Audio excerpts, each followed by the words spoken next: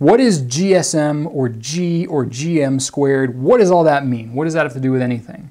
Okay, so that number, or it's always a number, so it might be 75 or 80 or 90 or 100. Um, typically, uh, if you're dealing with fountain pen paper, it's going to be above 70, so probably like 80 or 90, maybe 100. So what it is, the GSM, it's grams per square meter. So it refers to the weight of a sheet of paper. So if you take one square meter of paper, which is like about three feet by three feet, uh, somewhere there about, one square of that and weigh it, how many grams does that weigh? Now what does that actually tell you? It doesn't tell you the thickness of the paper necessarily. It tells you the weight of the paper.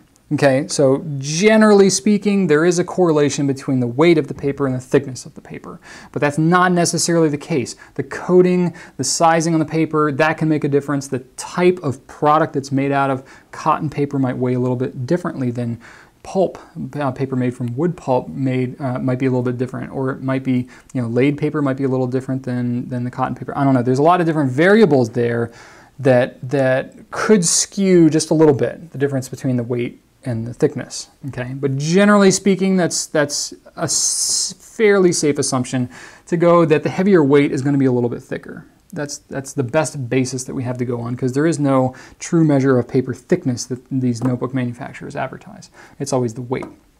So that said, the difference between 90 and 100 uh, usually is not that much, honestly. It's only a 10% difference in weight. You're probably not going to notice all that much what the difference would be. Um, the difference between 80 and 90, sometimes you can notice a difference. 80 and 90, you're talking about the difference between Rhodia and Clairefontaine. That's 80, that's 90. Um, so those you might be able to tell. The difference between 70 and 80, you can usually tell. Okay, and I don't know if it's a correlation between like people who make 80 or 90 gram, they're, they know that they're going with fountain pen people, so they size the paper differently, they have more of a clay coating, whatever. Uh, and people that have less, you know, is usually cheaper paper. I don't really know, honestly. Um, there's a lot of mystery out there about how paper is done, and, and I can't go full on in detail into that.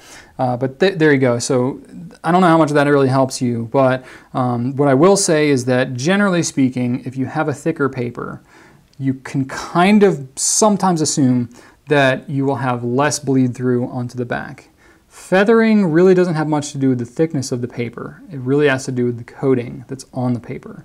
So, you know, you could assume that if it's a heavier paper, it might have more coating on it not necessarily thicker, but it might be more coating. So there's a lot of different things. And then you've got things like rice paper, onion paper um, versus wood pulp. You know, all these papers are going to absorb things differently. Cotton is going to absorb very differently than rice. So all that said, there's a lot of different variables there. And I may have just raised more questions than I've answered, but the main thing that I want to get across with that question is that the paper thickness or the paper weight is not necessarily indicative of how well it's going to perform, which is why I can't just show you one example of like, here's 90, here's 100, and this is the difference between the two, because it's really going to vary a lot one brand to another.